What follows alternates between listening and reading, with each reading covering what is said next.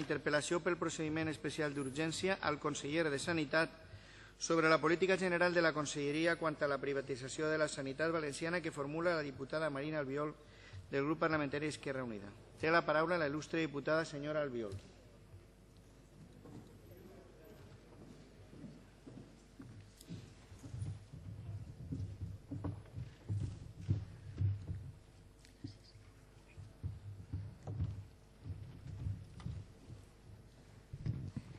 Bona vesprada. Senyor conseller, bona vesprada. Encara que segurament vostè no s'ho creurà, però m'alegre de veure-la així, perquè quan vaig registrar la petició la setmana passada pensava que tal volta en una setmana també l'haurien privatitzat a vostè i tindria que debatre en l'amo d'alguna de les empreses que gestionarà la nostra sanitat. I vostè no és sant de la meva devoció, però sempre preferiré un gestor públic, encara que siga del Partit Popular, a un gestor privat. Sempre.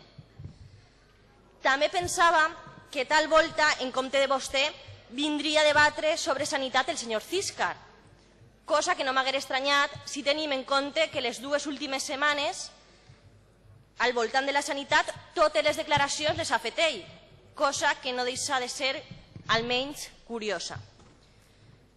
El divendres 27 d'abril, en la reunió del Consell, la reunió del Consell és una reunió de 11 persones. 11 persones reunides en una sala van decidir fer un cop d'estat a la sanitat valenciana. 11 persones, sense parlar amb ningú més, sense diàleg, sense parlar amb els agents socials. 11 persones decidissin carregar-se el model que portem 30 anys construint entre tots i totes. És veritat, senyor conseller, que no ho sabien ni els seus directors generals? I també li pregunte, ho sabia vostè? O també Fabra i Ciscar li la van pegar a vostè com a nosaltres? Ho sabia? 11 persones decidissin privatitzar la sanitat valenciana. I perdona que li digui, però vostès no estan legitimats per, per a fer això. No ho estan. Vostès són govern perquè la gent va votar el Partit Popular. És veritat. Però també és veritat que el Partit Popular es va presentar en un programa que res deia d'això, que res deia de deixar en mans privades tota la sanitat pública. Res. Vostès no estan legitimats per a fer el que estan fent. I vostès van fer l'anunci de privatització sense explicar absolutament res, absolutament res a la ciutadania. Ens estan tractant com si foren menor d'edat o com si, forem, com si no tingueren capacitat. Bueno, o això, o és que no ho van explicar perquè realment tampoc vostès tenen ni idea del que realment volen. És més, han llançat una enquesta des de la web de la Generalitat Valenciana preguntant a la ciutadania si estan d'acord amb el nou model de gestió de la sanitat sense explicar absolutament res. Res. Volen que la gent es posicione a cegues, això després li diran vostès que és participació. Per a nosaltres és manipulació a la ciutadania. Això és el que estan fent amb aquesta enquesta. Són vostès, a més, uns irresponsables. Llancen aquesta notícia bomba en una roda de premsa, però no publiquen absolutament res. No hi ha res per escrit. I han passat més de dues setmanes. Col·laboració público-privada, diàleg competitiu, gestió mixta, gestió privatitzada... Hem sentit de tot, ja. Privatitzar el que, queda, el que ja està privatitzat, reprivatitzar, privatitzar el que no està privatitzat... Mire, conseller, aprofite la seva intervenció i explique clarament què és el que pensen fer. Ara, què és el que pensen fer si abans no es parem els peus? I explico vostè perquè la veritat és que el senyor Tiscar de números dic jo que sabrà algo, però de sanitat sembla que no té ni idea. Explique vostè quan van a guanyar les empreses que gestionaran la nostra sanitat. I, per favor, no em conte el rotllo ese del cànon, que jo no em xuple el dit. Van a pagar un cànon? Sí, però dels diners que la Generalitat li donarà per la gestió de la nostra sanitat. Les empreses, quan gestionen algo, és per a guanyar diners. No són ONGs, no ho són. Quants diners públics van a quedar-se? I ses empreses. quants diners públics van embutxacar-se i ses empreses? Dic jo que ho hauran calculat ja, no? Dic jo. Per cert, quines empreses seran? Perquè ja han dit que volen repartir el pastís. Tindrem una empresa que gestionarà els serveis de cada departament de salut? Tindrem que coordinar 18 departaments amb les seues 18 corresponents empreses i tot això amb la Conselleria i amb l'Agència Valenciana de Salut? I les empreses? Ahir vostè va anunciar que ja n'hi ha empreses interessades. Pensa vostè dir-nos el nom d'aquestes empreses o és secreto d'Estado? Què seran? UTES formades per asseguradores, bancs i constructores, com Rivera Salut o Marina Salut? Serà Capio, una de les empreses de capital anglès, en la que té accions Rodrigo Rato i en la que està de directiu l'home de Cospedal? Serà Capio? Serà Mercacapital, un fons d'inversió? O Vista Capital, del Banc Santander? O serà Titlan, presidida pel gendre del senyor Roig? Quines seran, senyor conseller? Per cert, totes empreses que res, absolutament res, tenen a veure amb el món de la sanitat i als que li la bufa la nostra salut. Perquè sols es preocupa el seu compte corrent. Señoría, por favor. Sols es preocupa... Si pudiera, Perdón? si pudiera, por el decoro de la Cámara, utilizar expresiones más... Per favor. Vaig a fer com que no l'he escoltat. Pues faria millor en escoltar-me perquè estic presidint la sessió, senyoria. Bueno, aquestes empreses es la bufen a la nostra salut perquè sols els preocupa si les seues accions pugen o baixen. Ja sabem el que ha passat en Manises, en Alcira, en Dènia, hospitals i centres de salut, gestionats per empreses privades. Ja sabem que per tindre beneficis retallen en personal, en formació, en proves diagnòstiques. Ja sabem que no substituïssin el personal de baixa, que no substituïssin el personal de vacances. I és que, en definitiva, una empresa privada, siga del sector que siga, està sotmesa a un grup d'accionistes, inversors, que finalment el que busquen és, ni més ni menys, tindre beneficis econòmics. I gestionar la sanitat amb criteris economicistes i no socials és una aberració, conseller. I així com dic tenim exemples. Dènia, comunicar del comitè d'empresa. En les últimes setmanes s'han produït acomiadaments improcedents en l'Hospital de Dènia i en centres de salut. S'ha retallat personal assistencial en urgències, han suprimit les guàrdies hospitalàries d'alguns especialistes, han, han tancat parcialment les àrees d'hospitalització quirúrgica i mèdica, han paralitzat o retingut llistes d'espera quirúrgiques i de consultes externes, han reduït l'estoc de material i medicació, s'han limitat els trasllats a altres hospitals més especialitzats, etc etc etc. Comunicar de premsa del comitè d'empresa de l'Hospital de Dènia. Això és el que passa quan una empresa gestiona la sanitat, ja siga a nivell assistencial o a altres nivells. Per no parlar de la falta de transparència en la gestió, per no parlar de l'oscurantisme i de l'opositat amb què aquestes empreses gestionen la sanitat. I parlem del personal. Suposadament continuarà a càrrec de la conselleria, no? Però de què estem parlant? Les noves empreses gestionaran amb el personal de la conselleria però sembla que la nova gestió el que farà és introduir canvis en les seues condicions de treball. M'equivoque? El personal es veurà afectat perquè una part del seu salari serà en productivitat, una productivitat variable segons l'estalvi que faça cadascun en el seu lloc de treball. El que estan fent és introduir la competitivitat entre personal, com se fan les empreses privades. I això no és bo, senyor conseller, no és bo. I què passarà si s'ha de contractar nou personal? Això dependrà ja de la nova empresa? I què passarà amb el personal d'empreses privades que ara estan gestionant serveis que van vostès a reprivatitzar? I què passarà amb el personal interí? I què faran? Amortitzaran places i després les noves contractacions ja dependran de les noves empreses? Vostès privatitzen alegant que la gestió privada és més eficient i més econòmica. Però no, l'empresa privada és més eficient per a guanyar diners però no per a garantir una bona qualitat sanitària. Vostè diu que el que vostè fa, això de gestionar la sanitat, ho fan millor les empreses. Vostè en la pràctica el que està fent és declarar-se inútil per a gestionar la sanitat valenciana. Pensa dimitir després d'aquesta decisió? Gràcies, senyor Albiol. Té la paraula l'honorable conseller de Sanitat, Luis Rosado.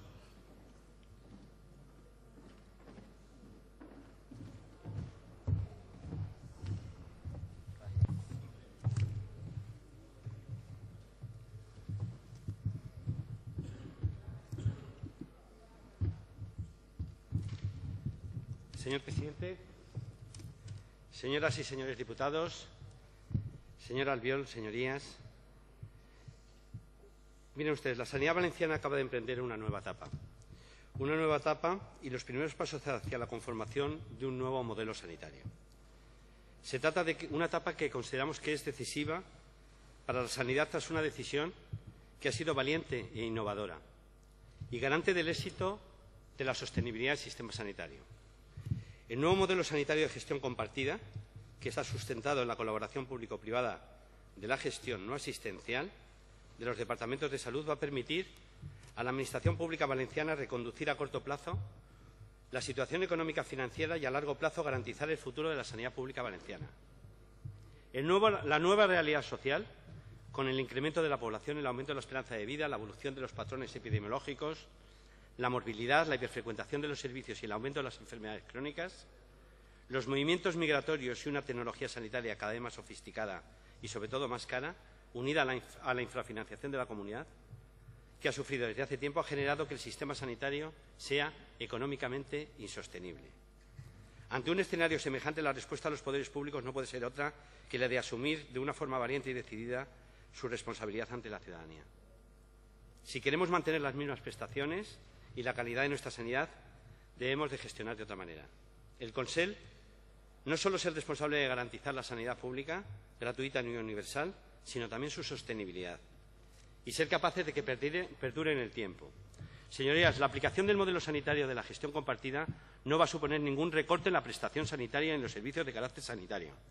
Los principios generales que definen el sistema sanitario público, y me refiero a la universalidad, la equidad, la cohesión, la calidad o la gratuidad, de la asistencia sanitaria quedan intactos. Tras analizar todas las posibilidades para hacer sostenible el sistema sanitario, estoy seguro que poner en marcha un nuevo modelo sanitario de gestión compartida es en este momento la solución que puede ser más aceptada y adecuada para hacer frente a las carencias que presenta actualmente el sistema sanitario público. La unión de la dinámica empresarial, cuya eficiencia de la gestión es indiscutible, y el funcionamiento de lo público aportan a la sanidad lo mejor de ambas gestiones. Esta simbiosis consiste en integrar todos los servicios que son referentes a la logística, muchos de ellos externalizados, bajo un mismo adjudicatario, por lo que solo se van a ver afectados los servicios de carácter no sanitarios y ya externalizados. Los servicios de limpieza, seguridad, cocina, lavandería, mantenimiento, gestión de telecomunicaciones, custodia de documentación clínica y todo aquello que se denomina logística hospitalaria, así como los servicios suplementarios que, que suponen la cartera suplementaria del Sistema Nacional de Salud, en la que ya se establece un pago a terceros por la prestación como la oxigenoterapia, el transporte o las resonancias magnéticas.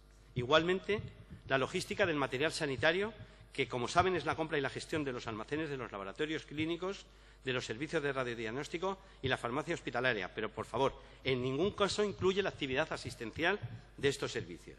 Por tanto, los efectos de este modelo sanitario de gestión compartido va a tener un reflejo solo en aquellas parcelas que ya están en manos de empresas especializadas del sector privado. Este nuevo modelo sanitario de gestión compartida se implantará a partir del año 2013 en los 18 departamentos de salud, que en la actualidad se gestionan de forma directa, quedando excluidas las cinco concesiones administrativas, los dos consorcios y la red de hospitales de crónicos y larga estancia. Cada uno de los 18 departamentos en que implantaremos el nuevo modelo quedará en consecuencia organizado con una dirección compartida. Una de carácter público, que gestionará la vertiente sanitaria, es decir, la atención médica dispensada en primaria y especializada, como la prevención de las enfermedades, diagnóstico, tratamiento de la misma y rehabilitación del paciente, y que sigue constituyendo el garante del control de la Administración. Por otra parte, una dirección del operador logístico que gestiona los servicios que ya están previamente externalizados o concertados y que antes les he mencionado. La Consellería de Sanidad controla la actividad diaria del operador u operadores externos y procura en cada departamento que exista una necesaria coordinación entre la vertiente pública y la vertiente privada. Actuará como un paraguas tutelando en todo momento la calidad asistencial. Cuando comience a funcionar este modelo sanitario de gestión compartida, las empresas externas que tienen contrato en vigor quedarán bajo el control del operador y a partir de este instante se establecen nuevas relaciones comerciales entre empresas. Al operador y operadores externos a los que se adjudique la gestión se les contratará por una cápita anual con los servicios suplementarios que asuman, con un coeficiente de descuento de transferencia que supone un beneficio para la Administración entre el 10 y el 15% sobre la situación actual. Dicha licitación tendrá la vigencia de 10 años, prorrogable otros 5. Se llevará a cabo por el modelo de diálogo competitivo. Luego, señor Albiol, yo no soy visionario, no sé, desconozco las empresas que van a ser licitadas en un concurso público, como establece la ley de contratos. En cualquier caso, a diferencia del modelo de Alcira, el modelo que usted ha mencionado, el operador externo no asume el control del personal estatutario, adscrito a los centros asistenciales ni de forma orgánica ni funcionalmente, en el caso de la asistencia sanitaria, y solo funcionalmente en quien ahora desempeña su trabajo subrogado a los sectores actualmente externalizados. Tampoco asume el control de las infraestructuras construidas por la Administración, ni se, ni se va a comprometer a llevar un plan de inversiones en este campo, sino que explotará y hará uso de las instalaciones sanitarias que utilice para su quehacer diario, pagando para ello un canon de utilización a la Generalitat Valenciana. La rentabilidad del modelo y, por tanto, los beneficios que genera para el adjudicatario vendrán derivados de la gestión eficiente de los recursos que tengan adscritos al introducir modelos empresariales en la relación con las tareas no sanitarias. Como pueden comprobar, el nuevo modelo de gestión compartida no va a afectar a la planificación sanitaria, que se mantiene en materia de estrategia de salud y que ha establecido la Agencia Valenciana de Salud. Esta seguirá vigente y con ella nuestro plan de salud y todos los planes y programas integrados en política de salud pública. Los ciudadanos deben de estar absolutamente tranquilos. Créame, yo sé que eh, todos amamos la sanidad pública, pero yo llevo, ya lo he dicho alguna vez más, 30 años trabajando para ella. Soy un firme defensor de la sanidad pública y gratuita. Y el ciudadano va a seguir recibiendo la misma asistencia, los mismos tratamientos, seguirá siendo visitado por el mismo médico y acudiendo al mismo centro de salud que permanecerá abierta las mismas horas que permanece en la actualidad.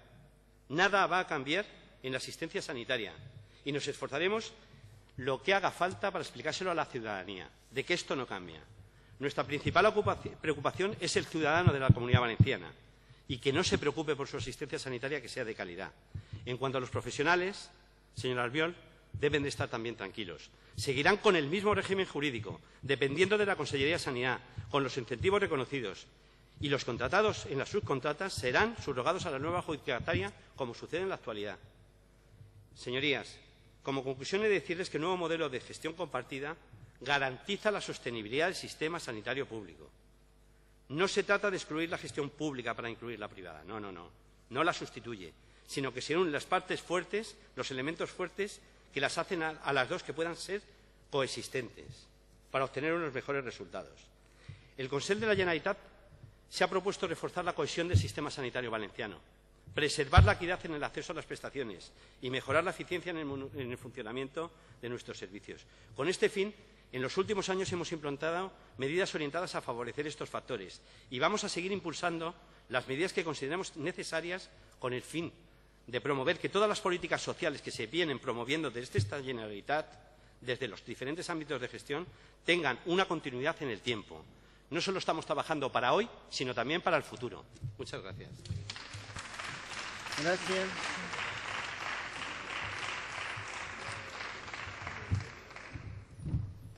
Gracias, señor conseller. Para réplica, la señora Albiol.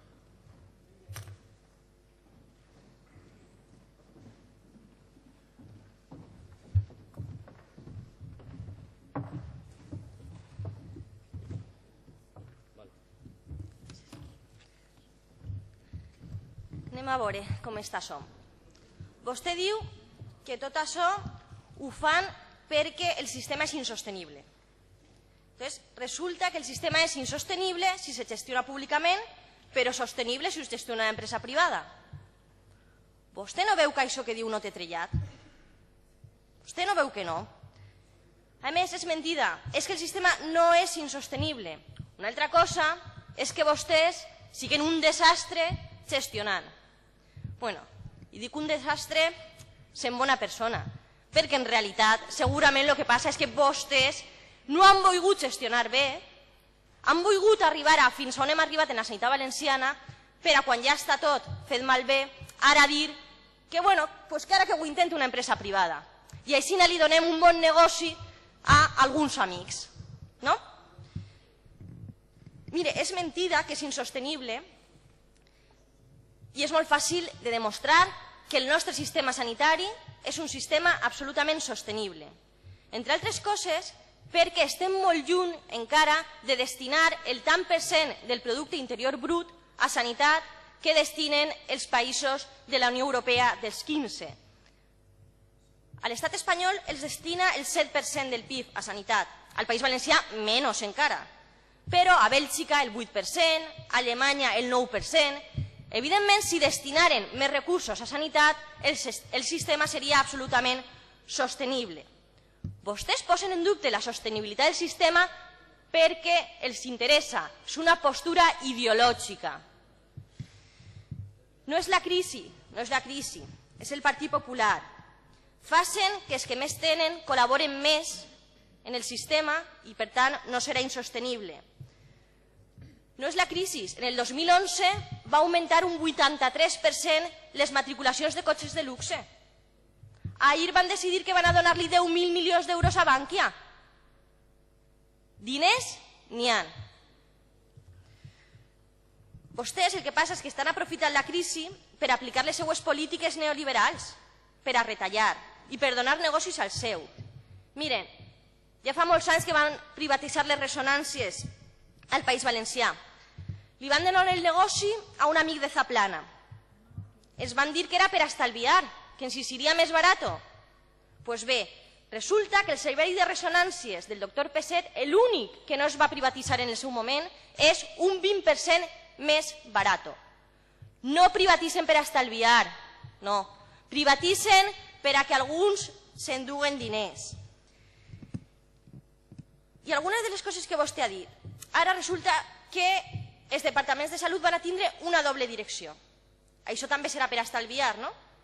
Dos direccions, la pública i la privada, també per estalviar. Però que no ens preocupem de res, de res, perquè la conselleria ho controlarà tot. Com ara controla el CIRA, com ara controla Manises, així no ho controlarà? Que resulta que els comissionats de la conselleria, els encarregats de controlar, quan acaben de ser comissionats se'n passen directament a l'empresa privada, que ells tenien que controlar? Així la controlaran vostès? I no només això, és que no només tindran que controlar una empresa, perquè ja ens ha dit que serà una empresa i la subcontrata de l'empresa i la sub-sub-subcontrata d'aquesta empresa. Doncs pues bé, té vostè molt que controlar. I no m'ha dir quines empreses seran. I me diu que és que vostè no és visionari i que no sap quines empreses. Bueno, pues a ir a las provincias, entrecomillado, entrecomillado vol dir que son declaracions seues, entrecomillado. Hay empresas que se han mostrado interesadas desde todos los sectores, como el sanitario y también empresas de capital de riesgo. Paraules seues, sí que sap les empreses, si no com sap que són del sector sanitario o com sap que són de capital de riesgo. Sí que les sap, dígueles així, així és on les que dir, no en els mitjans de comunicació. Així, Mire, estan vostès tan atrasats, tan atrasats, que volen aplicar així el model que ja va aplicar la senyora Thatcher fa 20 anys i que ja va fracassar. Si volen copiar, copien, però copien allò que funciona. Copien el que funciona. Mire, conseller, si vostè és incapaç de gestionar la sanitat, perquè és el que ens està dient, vostè diu que vostè això és incapaç de fer-ho i que vinga una empresa i que ho facin les empreses, que vostè d'això ja no pot, més, no, pot, no pot més o no sap més o no sé què. Pues bueno, el primer que ha de fer és deixar el seu escó blau d'aquest hemicicle. hemicicle. Gràcies. Gràcies, senyora Viol. Senyor conseller, té la paraula.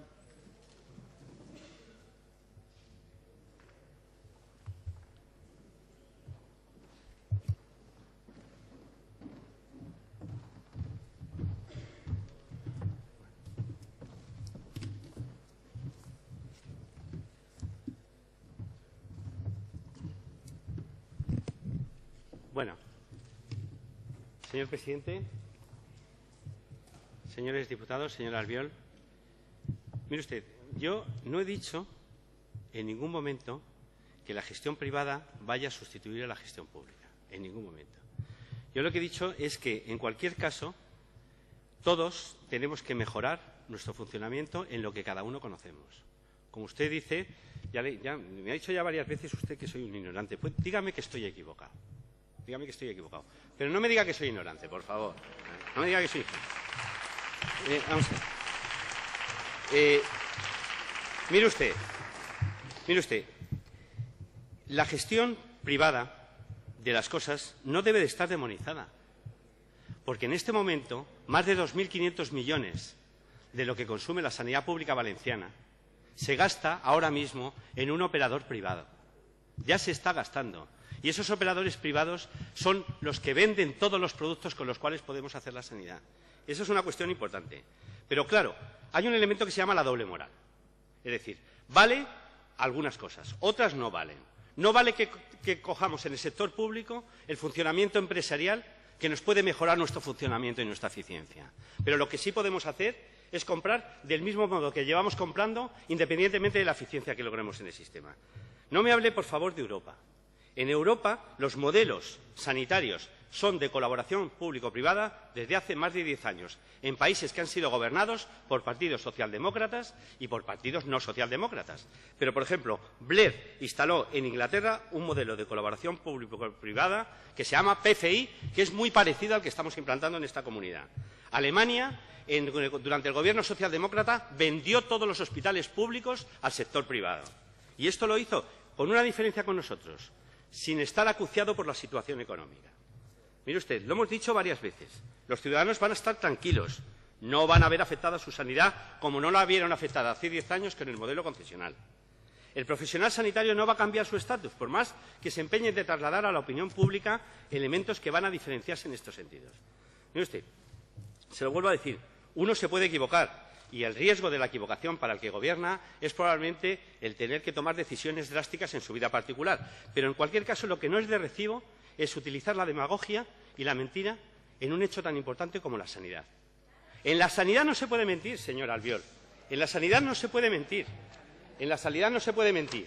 Mire usted, Izquierda Unida dice que los enfermos, gracias a este modelo, van a tener una alta inmediata y van a ser enviados inmediatamente después de las intervenciones, lo cual impide atender las complicaciones de forma adecuada.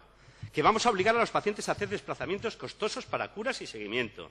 Que la privatización va a encarecer la sanidad ya que el coste habrá que sumar los beneficios de las empresas privadas, que vamos a impagar a los pensionistas, a los enfermos crónicos, que los que vayan a tener que realizarse una diálisis les vamos a tener, van a tener que pagar para hacerse la diálisis. Por Dios, esto no es cierto. No es cierto. Como no es cierto que los recortes sean iguales a los ajustes. Como no es cierto que la contribución en las recetas sea un repago. Eso es mentira. Y no es lo mismo gestionar mejor que privatizar la sanidad. Yo creo que debemos de hacer todos un esfuerzo un esfuerzo importante, y es no trasladar a la sociedad ideas falsas que solo generan malestar, incertidumbre y alarma social. Nuestra obligación, la de todos nosotros, es ayudar para salir de esta. Y creemos que es bueno para la sociedad. Y lo voy a decir de una forma muy clara. No vamos a privatizar la sanidad, no vamos a cambiar las prestaciones sanitarias, no vamos a hacer cambios en las relaciones laborales. Se lo estoy diciendo en público y con muchos testigos. Por favor, no vuelva a repetirlo más. Y solo le voy a decir otra cosa más. Los responsables que llevan en este momento las administraciones públicas tienen que ser totalmente ejemplares. Es lógico que seamos ejemplares en un momento como este. Pero, por favor, que la oposición también cumpla con sus deberes de transmitir a la sociedad la realidad. Eso es lo que tiene que hacer también usted. Muchas gracias.